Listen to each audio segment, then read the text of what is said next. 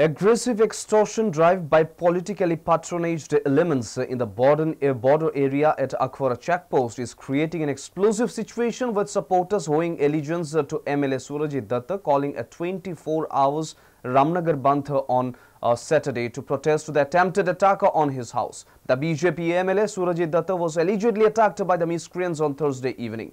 Uh, the MLA, while being asked, uh, has alleged that some known faces has discovered the attack upon him. He also informed that the chief minister, who is in Delhi right now, was apprised of the incident and the matter should be looked into this very soon.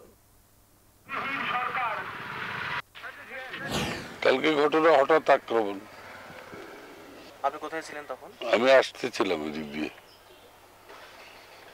Exact কোন জায়গাটায় হয়েছে আক্রমণ দুর্গাচমনি আর border দুইখানে। মানে দুই দুই দফায় হয়েছে